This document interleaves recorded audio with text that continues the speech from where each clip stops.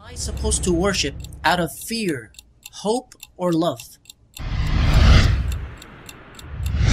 It's a beautiful question that requires a bit of context. Why? Because in our faith, we worship Allah subhanahu wa ta'ala. We should worship Allah subhanahu wa ta'ala out of love. Why? Because Allah subhanahu wa ta'ala created us. Because Allah subhanahu wa ta'ala is merciful to us. Because Allah subhanahu wa ta'ala instructed us and He is the creator and we are the creation. However, where do the uh, spectrums of hope and fear come in?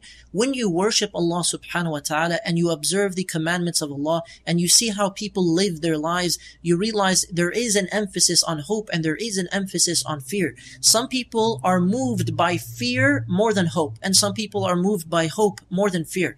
What motivates you and I? It will vary from person to person. However, everyone does need some kind of balance. Why? Because those who have an extreme emphasis on hope and absolutely no fear, you will find them basically committing many sins and saying, it's okay, Allah is the most uh, merciful. You will find some people who have an emphasis and an extreme emphasis on fear and abso- absolutely no hope. You will find that they have lost hope in Allah or they cause other people to lose hope in Allah subhanahu wa ta'ala.